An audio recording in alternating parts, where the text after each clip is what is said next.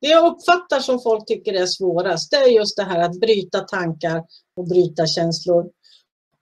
Och jag brukar säga det att sluta försök och sluta kämpa. Eh, många tänker inte på att våra, våra ord, eh, även om det inte i sig ger en, en vibration till universum så, så, så ger det signaler till oss själva. Olika ord framkallar olika känslor inom oss. Och att hela tiden prata om att ja, men jag kämpar med att få attraktionslagen att fungera, då har du talat om att, att det är en kamp. Eh, jag försöker tänka positivt och, och då, då säger du bara att du försöker och försöker då är det liksom så här, ah, kommer nog inte att lyckas, det är tveksamt och då, det, då vibrerar du tvivel ut i universum. Så att istället bestäm dig för att tänka positivt. Och sen är det så här att om du råkar halka tillbaka och tänka negativt, vilket du säkert kommer att göra. Eh, för det här handlar ju om att, bryta en vana helt enkelt. Och, och, när du då faller tillbaka i negativa tankar, vilket är helt naturligt, så säger du bara whoops, där halkade tanken på ett bananskal. Eh, vad kan jag nu tänka på som känns härligt att tänka på? Mm, tänk vad gott det vore med marängsviss. Eller, eller en riktigt maffig chokladtårta.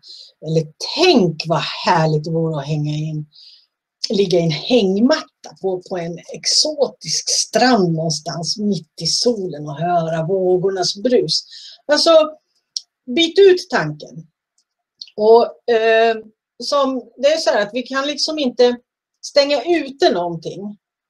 Utan vi kan bara, bara eh, ta in så. så. Och det, alltså ni får ursäkta att jag petar på näsan, men jag håller på att få en jättestor finne här. Så, ja, ursäkta. jo, så vi kan bara ta in och allting vi fokuserar på, det är det som vi bjuder in. Eh, så att om jag fokuserar på att ja, men jag ska inte tänka på det här och jag ska inte tänka på det där, för det där får mig att må dåligt och jag ska inte tänka på det där och det där ska jag inte göra för att då blir jag jätteirriterad och jag ska inte gå dit för att då och de ska inte för då mår jag inget bra och, det, och så vidare. Då bjuder du in det i din verklighet.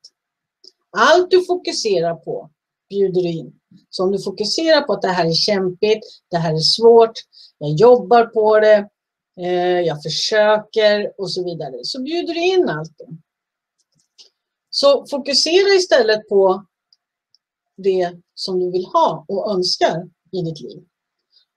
Och, men ibland så är det ju så här att även om jag fokuserar på någonting jag önskar, jag tror att jag gör det, och så känner jag en negativ känsla. Då är det istället så att jag uppmärksammar att eh, ja, bristen på det som jag önskar. Så om vi tar exemplet om pengar.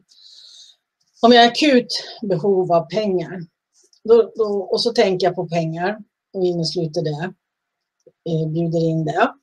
Men jag får en enorm ångest och oro så fort jag tänker på pengar.